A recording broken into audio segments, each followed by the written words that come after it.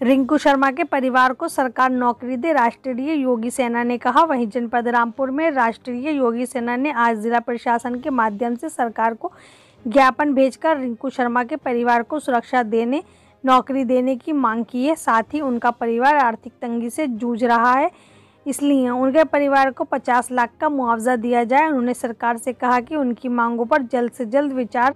कर मांगों को माना जाए। वहीं आइए आप सुनते हैं गौरव अग्रवाल, जिला प्रभारी, राष्ट्रीय योगी सेना क्या कह रहे हैं? देखिए, आज राष्ट्रीय योगी सेना की ओर से जो 10 फरवरी को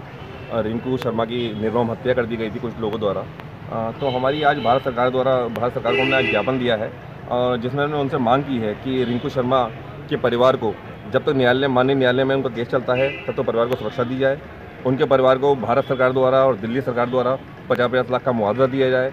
और उनके परिवार को, जो उनकी माता जी जिसको भी उनको वो चिन्हित चिन्हित करती हैं तो उनके लिए नौकरी की व्यवस्था की जाए, ताकि उनका जो भी पालन पोषण है, वो अच्छी तरह हो सके और वो आर्थिक तंगी से ना जूझें शर्मा जी का जो संज्ञान में आया और मीडिया द्वारा पता चला है, उसमें पता ये लगा गया है कि उनके ही कुछ मित्र थे, जिन्होंने धोखे से घर में घुसकर, और उसकी निर्मम हत्या कर दी गई, जो भारतीय जनता पार्टी का कार्यकर्ता ही बताया जाता है और इससे पूरे हिंदू समाज में और सब समाज में एक बहुत रोष व्याप्त है और हम भारत सरकार से मांग करते हैं कि जो हमारी मांगे हैं, इनको मांगों सुनकर, इस पर विचार कर कर और शीघ्र ही इसको माना जाए।